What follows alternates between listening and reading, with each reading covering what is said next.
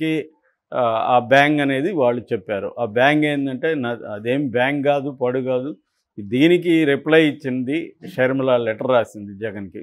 అంటే ఇవి ఒక ప్లాన్డ్గా షర్మిల చంద్రబాబు కలిసి ఈ పని చేస్తున్నారా అన్న డౌట్ అయితే వచ్చింది. ఎందుకంటే అది తెలుగుదేశం అఫిషియల్ సోషల్ మీడియాకి ఎలా వెళ్ళింది ఆ లెటరు?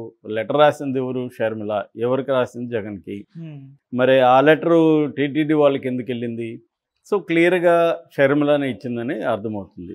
మొత్తానికి ఆ లెటర్లో ఏముంది అని చూసినప్పుడు రెండు రకాల పాయింట్స్ ఉన్నాయి. ఒకటి లీగల్ పాయింట్ ఒకటి ఎథికల్ పాయింట్.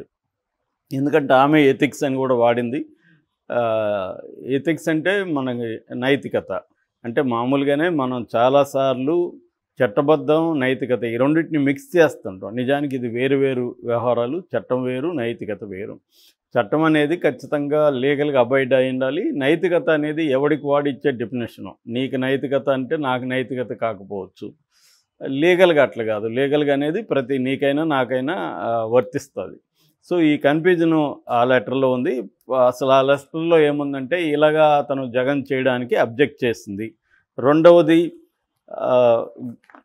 వయస్సు వైఎస్ ఉన్నప్పుడు నలుగురు గ్రాండ్ చిల్డ్రన్కి తన ఆస్తిని ఈక్వల్గా పంచుతాడు పంచాలి అని ఆయన డిసైడ్ అయ్యాడు. నువ్వు కూడా దానికి ఒప్పుకున్నావు.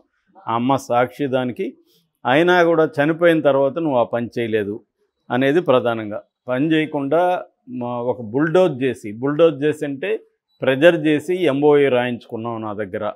అంటే నేను వాలంటరీగా రాసి ఇవ్వలేదు. నీ ప్రెజర్ వల్ల నేను రాసి ఇవ్వాల్సి వచ్చింది ఆ ఎంఓయు అనేది ఆమె చెప్తుంది. అంటే లీగల్ వేరు ఇక్కడ మోరల్ వేరు. ఇది మనకు కనబడుతుంది ప్రతి చోట. అట్లాగే మదర్ని సిస్టర్ మీద నువ్వు కేసులు పెట్టావు అని చెప్తుంది. నిజానికి జగన్ వీళ్ళిద్దరి మీద కేసులు పెట్టలేదు. ఈ జగన్ ఏం చేస్తున్నావు అంటే ఈ ట్రాన్స్ఫర్ ఏదైతే ఉందో అది చల్లదు అది కరెక్ట్ కాదు అని లా ట్రిబ్యునల్లో వేశాడు. ట్రాన్స్ఫర్ ఎందుకు కేసులు ఉన్నాయి ఆల్రెడీ ఇది ఈడీ అటాచ్ చేసిన ఆస్తి కాబట్టి క్రయ విక్రయాలు జరగడానికి లేదనేది జగన్ పాయింట్ ఆఫ్ కానీ ఈమె దాన్ని ఎలా ఇది చేస్తుందంటే నేను మా తల్లి మీద చెల్లి మీద కేసులు వేసావు ఇది టీడీపీ వెర్షనే టీడీపీ కూడా దీన్నే తీసుకొని వీడు ఎంత సైకో చూడు అమ్మ మీద కేసు పెట్టాడు చెల్లెల మీద కేసు పెట్టాడు వీ- వీడు మహిళలకి ఇది చేస్తాడా వీడు సైకో అని వాళ్ళు ప్రచారం చేస్తున్నారు. ఆ తర్వాత గిఫ్ట్ డీడ్ మీద. గిఫ్ట్ డీడ్ ఇచ్చావు. గిఫ్ట్ డీడ్ ఇచ్చిన తర్వాత గిఫ్ట్ ఎవరు తీసుకున్నారో వాళ్ళ ఇష్టం వాళ్ళకి అనుకూలంగా ఎవరికైనా ఇచ్చుకుంటారు. అలా ఇవ్వకూడదనే హక్కు నీకేమీ లేదు. ఆమెకి గిఫ్ట్ డీడ్ ఇచ్చినాక ఆమె ఇష్టం అనేది ఆమె ఆర్గ్యుమెంటు. తర్వాత యలహంకలో ఉండే ఇరవై ఎకరాల వీళ్ళు వీళ్ళు సోకాల్డ్ ప్యాలెస్ అని చెప్తుంటారు. ఆ ఇంట్లో కూడా నాకు వాటా ఉంది. సో మీ నువ్వు ఎథిక్స్ ఫాలో కాలేదు. నాన్నకు ఉండే ఎథిక్స్ని నువ్వు పక్కన పెట్టేశావు. ఒక అన్నగా నీకు నా పిల్లలని చూసుకునే బాధ్యత ఉంది అనేది ఆమె ప్రధానంగా చెప్పిన ఆరోపణలు. ఇక్కడ మామూలుగా ప్రతి ఫ్యామిలీలో తండ్రి వాటా తండ్రి ఆస్తులు ఖచ్చితంగా పే మహిళలకు కూడా కూతుర్లకు కూడా రావాలనేది సుప్రీంకోర్టు కూడా అనేకసార్లు చెప్పింది. ఆ విధంగా రాజశేఖర రెడ్డి ఏమేమి సంపాదించాడో ఆ ఆస్తుల్లో షర్మిల వాటా అడగడంలో తప్పు లేదు. ఖచ్చితంగా జగన్ దాన్ని హానర్ చేయాలి జగన్ ఇవ్వాలి. కాకపోతే ఇక్కడ మనకి సాధారణ ప్రజలకి రాజశేఖర రెడ్డి సంపాదించిన ఆస్తులేవి జగన్ సంపాదించిన ఆస్తులేవి అనే దాంట్లో క్లారిటీ లేదు. సో ఇప్పుడు ఇది ఒక పక్కేమో ఈ సరస్వతి పవర్ కంపెనీలో ఏ రకమైన ఆస్తులు లేవు. ఇది కేవలం ఒక సూట్ కేస్ కంపెనీ అని గతంలో కూడా పటాబీ వీళ్ళందరూ ఆరోపించారు. సో ఇదేమి కంపెనీ లావాదేవీలు లేవు ఏమీ లేవు. ఇది ఓన్లీ కొన్ని ల్యాండ్స్ని ఆక్యుపై చేయడం కోసం దానికోసం పెట్టుకున్న కంపెనీ అని. మరి ఇప్పుడు దాంట్లో ఆస్తులు ఇవ్వలేదని మళ్ళీ అసలు కంపెనీనే బోగస్ కంపెనీ అయితే దాంట్లో ఆస్తులు ఇవ్వలేదు అని మరి వీళ్ళు ఎలా అడుగుతున్నారు అనేది ఒక ప్రశ్న. రెండవది ఈ షేర్లు ఎంఓయు ఆమె ఎందుకు ఒప్పుకునింది? ప్రెజర్ పెట్టి ఒప్పుకున్నానని ఈరోజు అడుగుతుంది.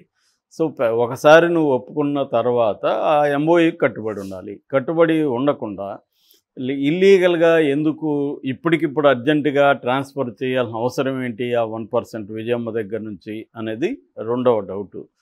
మూడోది జగన్ జగన్ సంపాదించుకున్న ఆస్తులు. ఎందుకంటే అప్పుడు కూడా వైఎస్ రాజశేఖర రెడ్డి ఉన్నప్పుడు కూడా చెప్పింది చాలామంది ఏంటంటే ఈ- కంపెనీలు ఇవన్నీ కూడా ఆయన ఎప్పుడు ఆయనకి ఆర్థిక వ్యవహారాలు ఏవి రాజశేఖర రెడ్డికి తెలియదు. మొత్తం జగనే చూసుకునేవాడు. తర్వాత భారత్ వచ్చినాక భారత్ చూసుకుంది.